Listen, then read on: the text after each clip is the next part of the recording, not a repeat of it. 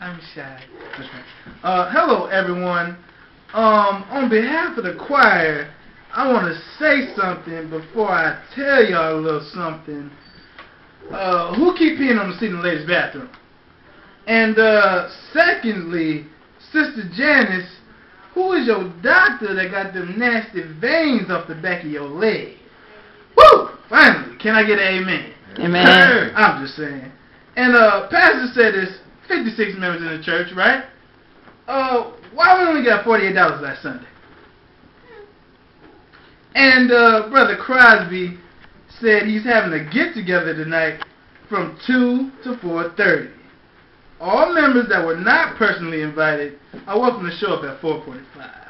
Thank you. Church, take us out.